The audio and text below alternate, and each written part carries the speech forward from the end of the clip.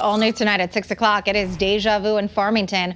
A referendum is asking voters again to see if they should build a new high school. The multi million dollar project would demo most of the campus and bring it up to safety and security requirements.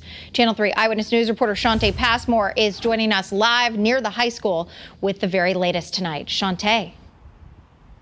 Aaron, this is a hot button issue all over town. You'll see these signs like the ones right near the high school. We can actually see supporters urging voters to say yes. And right now at this hour, there is a very long line for people to weigh in. But will the town see different results this time around?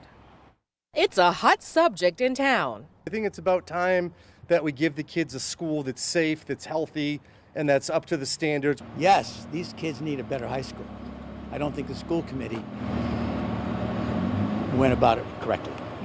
Referendum, people will vote whether the town should spend approximately $136 million on a new high school. Most of Farmington High would be demolished with some exceptions. The town council and school board agree it's time for an update by supporting a new three-story building.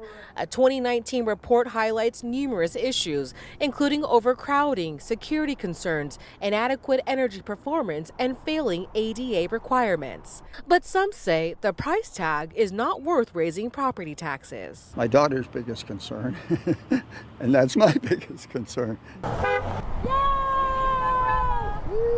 If the proposal falls through like it did four years ago, parents are considering their options. We're seriously thinking about um, if it doesn't go through, I'm going to put my daughter in private school.